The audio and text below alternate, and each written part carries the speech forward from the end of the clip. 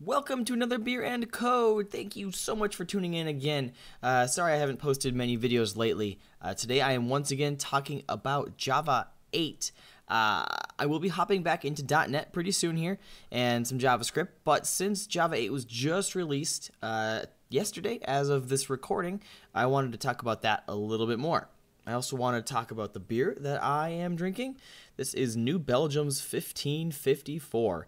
Uh, it's called a black lager, and it's kind of between a stout and a lager, and it is uh, very easy drinking, very, very, very good. Um, it just snowed here, so it's very good comfort beer for the cold weather. Yum. All right, and now uh, more on the topic. In particular, I'm going to be talking about default methods on interfaces.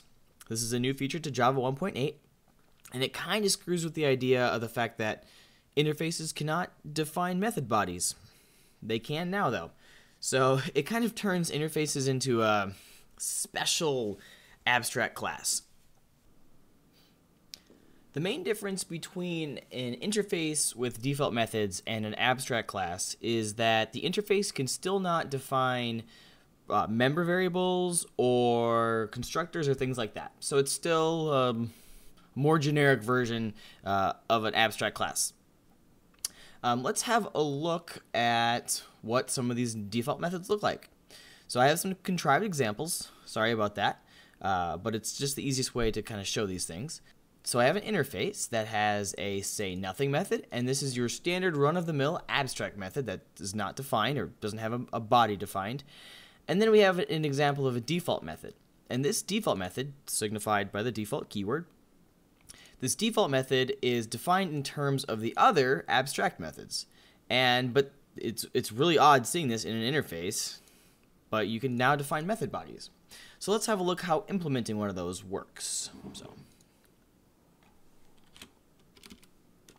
All right, so imp beers in the way, imp ah implements interface A.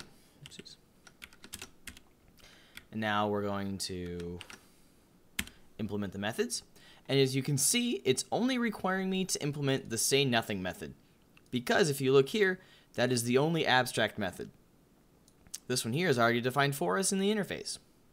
So I will uh, implement say nothing. sys out. Crickets. All right, so that's that's all well and good. Let's have a look at what that looks like. I dot say nothing. I dot say int six. All right, so now because the say int and say nothing method, uh, sorry, because the say int method does whatever say nothing did, it should actually say crickets twice. So Let's give it a shot. Boom. So it says crickets twice. Now things get a little bit more complicated when you implement two interfaces, especially if those two interfaces share a default method. And that's actually kind of where, the, yeah, things get hairy. Because since now you've implemented two methods that have two different implementations, how does Java know which one to use. And I'll show you how that sort of plays out in a second here. So we're going to add on the implementation to interface B. Add the say string. So, so I'm going to sys out uh, just the string. And now I'm still, I still, now that I've implemented this one abstract method that's on this interface, now I'm still getting a compile error. And let me run that for you to show what that does. All right, so you can see I got a compiler error. Make sure you can see that. Duplicate default methods named sayInt with parameters int and int are inherited from the type interface B and interface A. So luckily, the compiler gives us a pretty good reason for the compiler error. And what it's saying is because, sorry, because implementer now implements interface A and interface B, which both define this sayInt method, it doesn't know which one to use. So in order to get around that, it actually requires you to implement that method yourself. So now I have to, because I inherited two of them, I have to write a version myself. So I'm going to override that method, and I'm going to just do no more conflict. So now I can call, say int here, and now it's actually going to call this, this new method that I implemented here. Crickets and no more conflict. So uh, to sum this up, when you have two interfaces say that define the same method, say int and say int, and you have one class that implements both of them, first of all, that's a bad idea. Um, you're probably doing something wrong uh, if you do this. You're, you're putting yourself into a kind of a bad situation. So I would try to stay away from this if you can.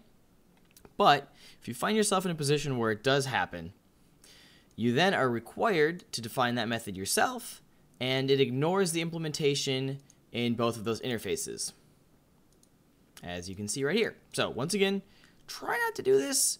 Um, I can't think of a really good reason why you would want to, but now you can kind of see how that changes the inheritance model and things like that. Um, mainly, it just adds on to it, where you get these extra default methods, uh, which is really nice. Uh, it can complicate things when you're inheriting two different interfaces like that, uh, but in practice, you should really not be seeing that. So, um, thanks for tuning in for this uh, hopefully quick beer and code. Um, I am going to maybe do a couple more of this Java 8 stuff and then switch over to doing more .NET. So uh, let me know if you enjoyed this and if you learned from it. And thank you so much for tuning in. And thank you to the YouTuber who suggested I go into this topic a little bit more. So yeah, thanks all around. Cheers.